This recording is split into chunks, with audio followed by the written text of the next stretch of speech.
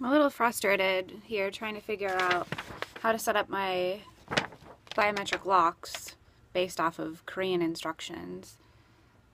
Samsung didn't really think this through very much. Okay, this is my SHS 5230 biometric um, smart home door lock from Samsung. Um, it's a little dark, so let me turn the, the light. Okay, so here's where the batteries go, obviously. Um, I believe in order here that this is the main body registration button, which would make the next one the volume control and the one after that the automatic manual control speech buttons. And then this, I still haven't entirely figured out. Um, this is the locking mechanism um, from the inside.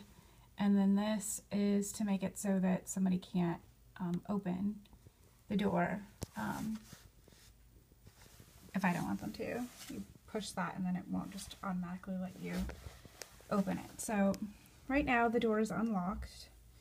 Um, moving this down locks the door and then I can just unlock it.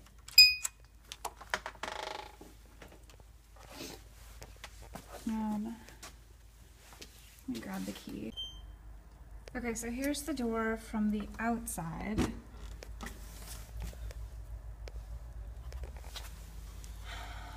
With the biometric lock. This, I think, is supposed to open this so you can put your thumbprint in. And then you're supposed to just be able to put your palm over it and have this light up, and mine's not doing that. Um, and then here's the quick access, which also isn't working, but I have a key here too.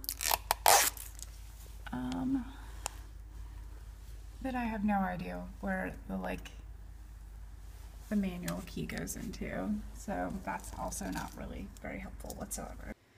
I don't think I've ever been this angry in my entire life. I am really a little pissed off at Samsung. So tried to tweet them and got nothing. Even the Korean branch um, tried Samsung support. They just flat out ignored me. It was like, I actually need help. Tried messaging my phone number. Nada. So I called the voice support and got hung up on multiple times. By the way, you have to go through a phone tree just to get there in the first place, which if you don't hit the buttons that it's asking you for, it just says sorry, call back later and hangs up on you. It just doesn't do like what most phone supports do and forward you to a live representative. It just assumes that you suck at life and fucking hangs up on you. Um, which is awesome. So I finally went through and got to a live person and um, was trying to ask them stuff, and they're like, "Well, we can't really help you." Blah blah blah. Hung up. Um, so did that a couple times. That took literally probably an hour each time. Um,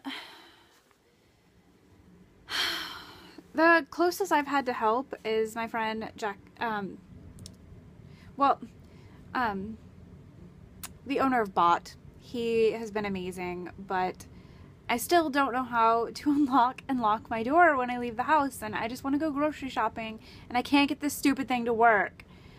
Um, yeah, I'm frustrated because it just makes stupid noises at me. The keypad doesn't light up.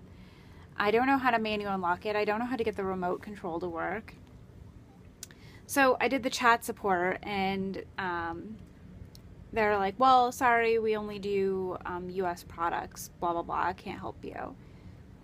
Just, whatever. Charlie keeps trying to crawl up on top of me.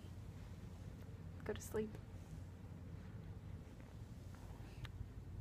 I've run out of motivation for that thing. I think it's going back.